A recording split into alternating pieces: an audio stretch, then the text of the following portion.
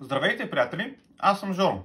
Днес ще направя за вас кратко ревю на безконтактния тестер за променливо напрежение на марката Mastech модел MS8902A. Преди да започнем, е важно да знаете, че работа с електричество може да бъде опасна и да доведе до фатални наранявания. Затова, когато работите под напрежение, трябва да бъдете много внимателни. Ако не знаете или се затруднявате при извършването на определена операция, потърсете помощ от човек, който има необходимата квалификация и опит, за да ви помогне. А сега да започваме. Сега заедно с вас и аз за първи път ще видя какво представлява безконтактният тестер за променливо напрежение.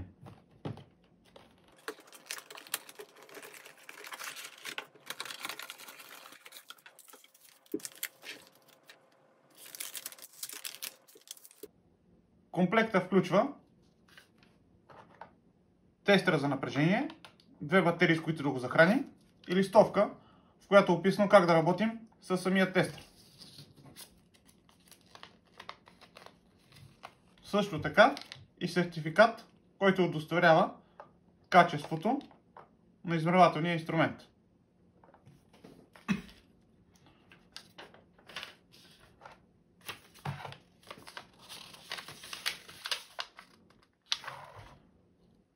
Това е същото ръководство, като това, което ви показах,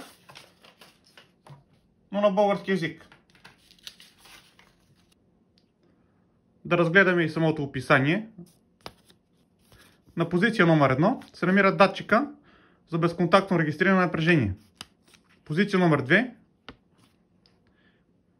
ни е бутон, с който да усилим чувствеността. Позиция номер 3 с бутон, който да намалим чувствителността на уреда. И бутон номер 4, който се намира от горната страна, включваме и изключваме уреда. Характеристиките. Захранва се от две батерии от вольт и половина. Те са включени в комплекта. И работна температура на уреда е от минус 10 до 50 градуса по Целзий. И е добре да се съхранява от минус 20 до 60 градуса по Целзий. Това са размерите в милиметри. 157 по 24 по 20 и теглото му е около 42 грама.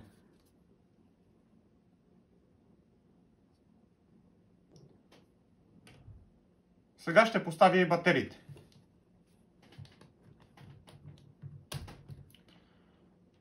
Капачката се премахва чрез дърпане, няма резба на нея. Батериите се поставят по този начин.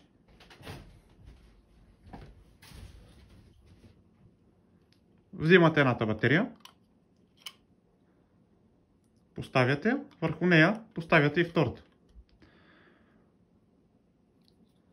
След това поставяте капачката обратно.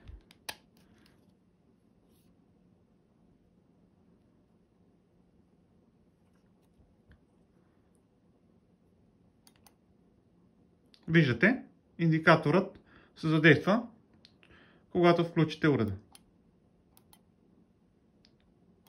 При изключване индикаторът не светва. Единствено, когато включвате уреда.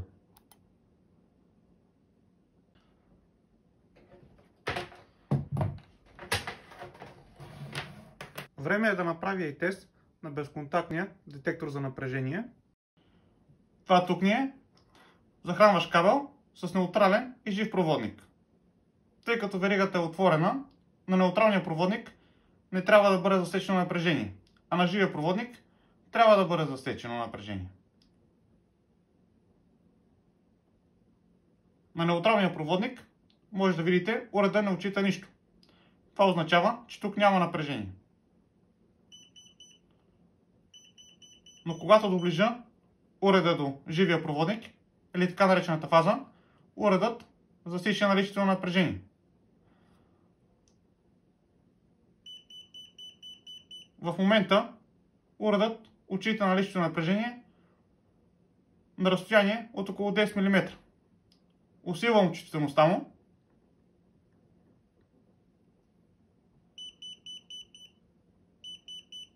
И започва да отчита наличието на напрежение на разстояние от около 50 мм или 5 см. Сега ще направя още няколко теста. Как се представя безконтактният детектор за напрежение, когато има преграда между него и проводника? Това тук е дървено блокче с дебелина 35 мм. Поставям го върху живия проводник и тествам.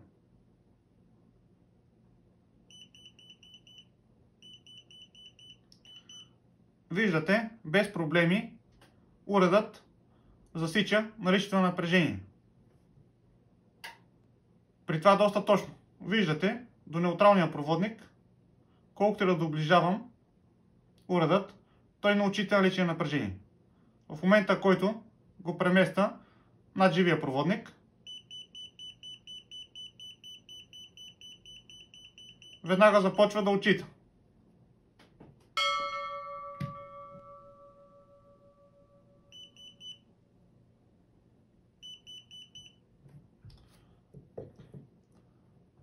Разбира се, когато няма преграда между проводника и уреда, е много по-лесно да бъде засечено напрежението.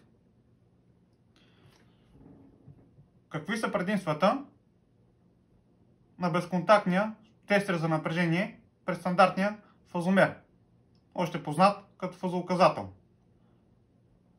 Стандартният фазомер не може да отчете наличието на напрежение, когато бъде допрян до изолиран проводник. Докато безконтактния уред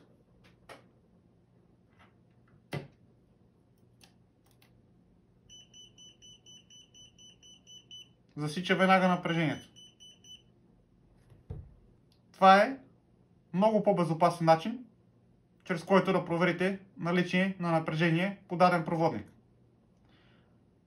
Друго предимство на безконтактния уред е когато искате да замерите контакт тип Шуко.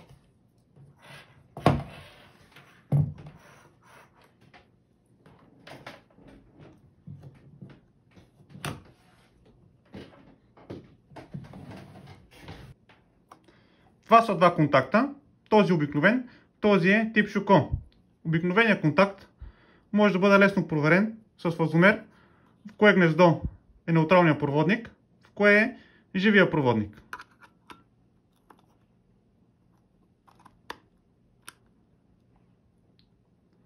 Виждате, поставям фазомера и виждам, че отдясно се намира фазата. В лявото гнездо е свързан неутралния проводник. Контактите от тип Шоко са защитени и не позволява с стандартен фазомер да разберем в кое гнездо е свързан неутралния проводник и в кое е живия проводник. С безконтактния тест за напрежение може да направим тази проверка.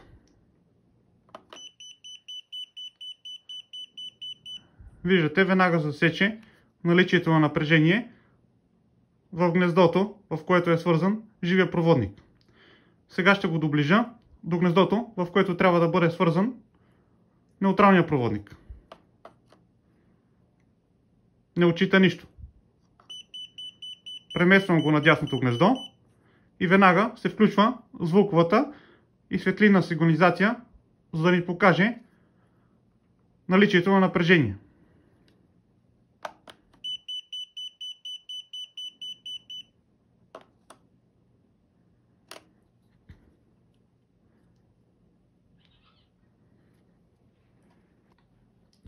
С тестера може да тествате и автоматични предпазители. В момента предпазителите са включени и трябва да има напрежение на входа и на изхода на всеки един от тях. На входа има наличие на напрежение. На изхода също. изключвам предпазителите.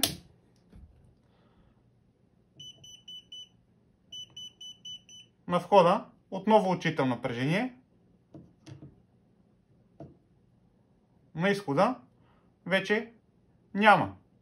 По този начин може да проверите дали предпазителите са здрави. Ако предпазителите са включени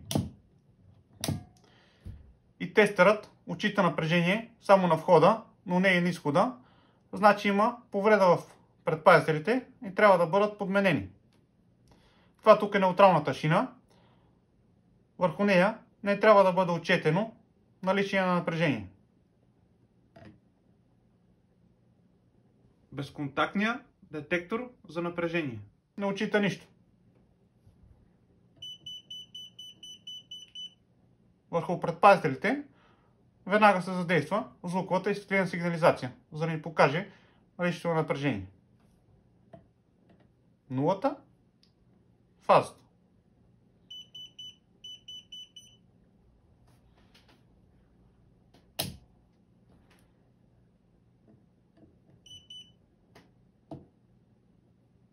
Ако настроите внимателно чувствителността на уреда, той може да отчита много точно наличието на напрежение.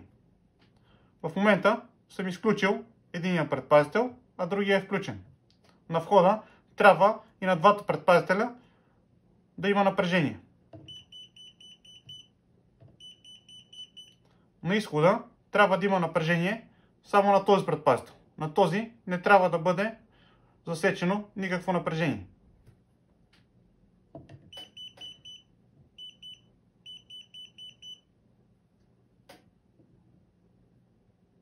Може да видите, въпреки голямата близост на двата предпазителя, тестерът отчита много точно, че този предпазител е изключен и няма наличие на напрежение в изхода му.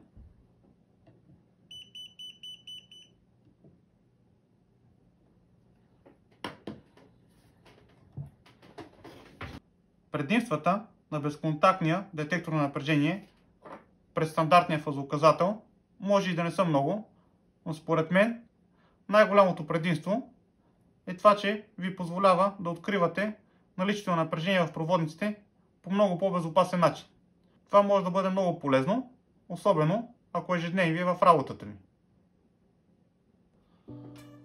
Благодаря на всички, които останахте с мен до края на видеото. Ако ви е харесало и да подкрепите, натиснете лайк бутона Абонирайте се за канала ми и споделете видеото, за да може да достигне до повече хора. До следващия път!